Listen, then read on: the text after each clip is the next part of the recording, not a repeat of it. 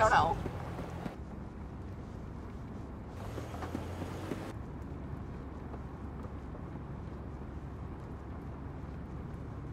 Oh my gosh. This is Michael Schur.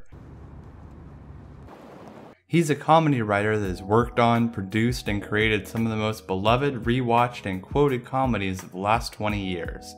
He's created dozens of memorable characters that live on in some of the most dedicated fan bases around, even though some of these shows ended years ago. He's been successful in pretty much every project he's been attached to, which is why he's one of the biggest names when it comes to creating hit TV shows. Today, I want to take a look at how he started in comedy and how he came to work on and create some of the best shows ever made.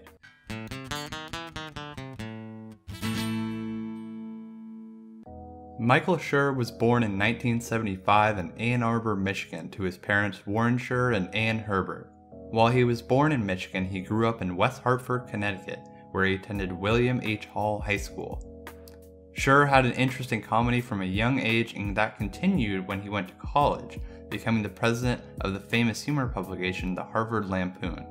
While attending Harvard, he graduated with a bachelor's degree in English.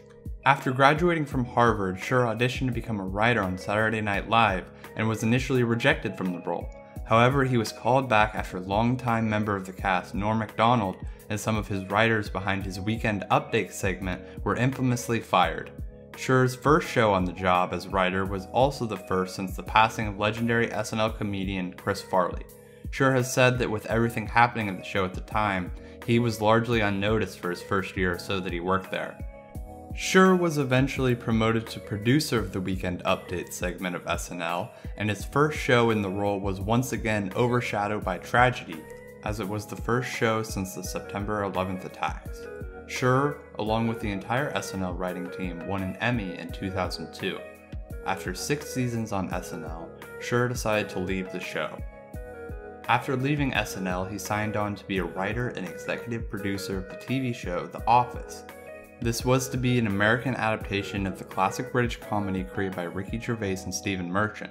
It was being helmed by fellow Harvard graduate and SNL alum Greg Daniels.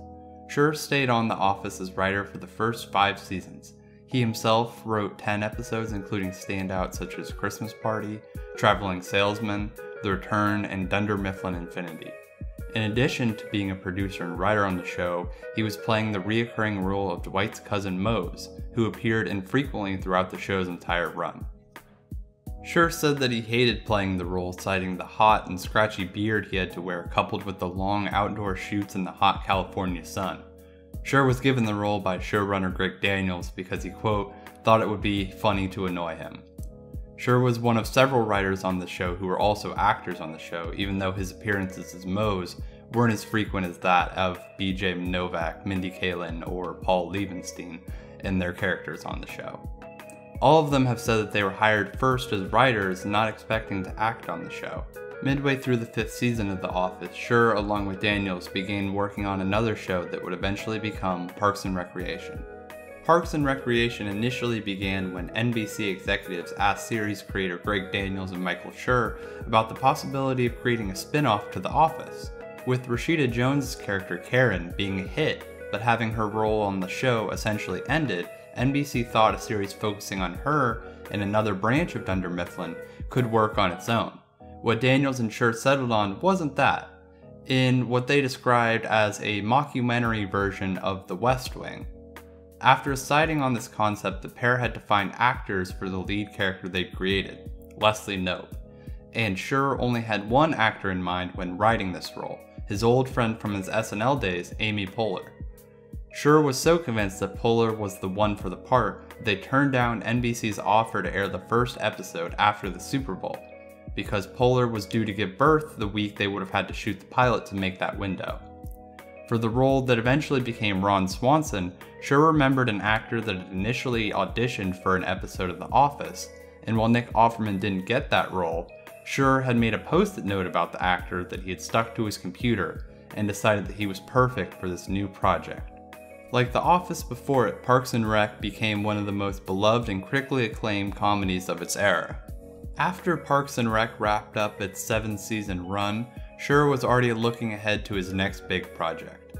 along with Dan Goor, who served as writer, director, and producer in Parks and Recreation, and has known Schur since their Harvard days together, decided to create what would become Brooklyn Nine-Nine. Their goal was to bring a similar type of group comedy dynamic as Parks and Recreation to a police station, a setting that they felt had been severely underutilized in comedies. Unlike when creating Leslie Knope, Schur and Goor didn't have a specific performer in mind when creating the lead character Jake Peralta, but instead based the ideas for the character off Hawkeye Pierce, the wisecracking doctor from MASH.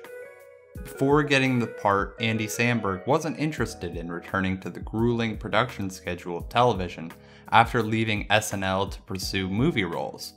This changed, however, when he heard that Michael Schur was looking to create a new show. Samberg was a huge fan of Amy Poehler and Parks and Rec and was eager to join the project in a similar type of role. To fill out the rest of the cast, there was a mix of set ideas for parts and creating as they saw fit. For example, the role of Terry Jeffords was always meant to be played by Terry Crews, going as far as to name the character after him so he would always have to think about it if he turned it down. Whereas Rosa Diaz came from Stephanie Beatriz auditioning for the role of Amy. Likewise, Gina was created when Schur learned that Chelsea Peretti, who had worked on Parks and Rec as a writer, was available. Schur and Goor co-wrote the series pilot and Schur himself wrote the episode Operation Broken Feather, as well as directing multiple episodes throughout the series. Schur's direct role in the creation of the series diminished as he moved on to his next project, The Good Place, and while he tries to be as involved as possible, providing writing notes, going through read throughs, he himself has said that it is Dan Goor's show. Schur would serve as the sole showrunner and creator of the new show, which was based on moral philosophy and what it means to be a good person. When creating the concept for The Good Place, Schur found himself driving around LA trying to observe what he called annoying behavior, and thought about what it would be like if that behavior was assigned points. Schur initially wasn't confident in his pitch, but after talking it over with Damon Lindelof, creator of such shows as The Leftovers and HBO's Watchmen, Schur decided to run with it. When it came to casting this project, Schur called up Kristen Bell, whom he had known since his SNL days and had previously made guest appearances on Parks and Rec. The two met for lunch and talked for hours about what it meant to be a good person, and afterward, she got the job. Schur next recruited Ted Danson for the project by explaining the concept, Reportedly, only Danson and Bell were told what the show would be, and most of the other actors auditioned with fake scenarios and no concept of what the show would be about. Over the show's next four season run, Schur would once again serve as writer, director, and producer for various episodes, as well as being the overall showrunner for the project. Schur has also been creatively involved with other projects big and small over the years. He co-wrote the episode Nosedive of Black Mirror starring Bryce Dallas Howard with Parks and Rec star Rashida Jones. He created a baseball-focused podcast called The Poscast with former Sports Illustrated and Kansas City Star sports writer Joe Posnanski. He has also served as an executive producer for Parks and Rec alum Aziz Ansari's Netflix show Master of None. In 2020, he started a new project with fellow Office alum Ed Harris, who also stars in the show, called Rutherford Falls, which airs its first season in 2021. In terms of accomplishment over his vast amount of work, Michael Schur has been nominated for 14 Emmys, winning two, one during his time at SNL, and one for The Office.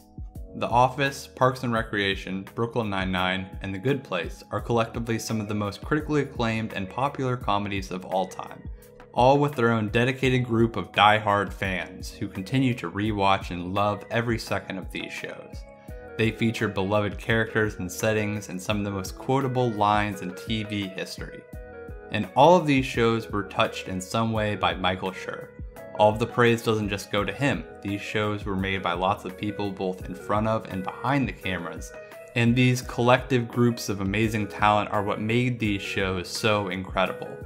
But it is telling when all these amazing and classic shows have a common denominator, and in some way, Michael Schur certainly is that common denominator.